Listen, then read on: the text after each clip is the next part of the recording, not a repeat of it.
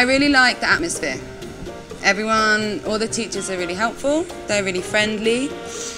They, for me, my experience, they made me feel really comfortable and I could ask them questions and I felt I could speak to them in Spanish even though I didn't know very much at the time and that they would correct me but in a really non-patronising, friendly way.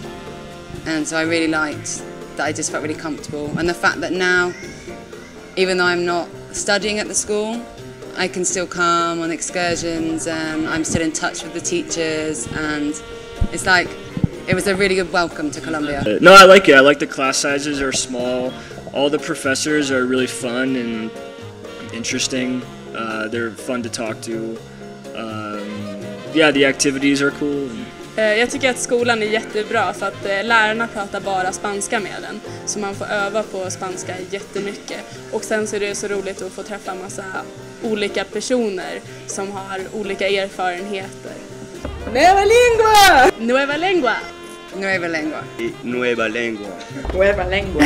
Nueva lengua. Yay! Nueva lengua!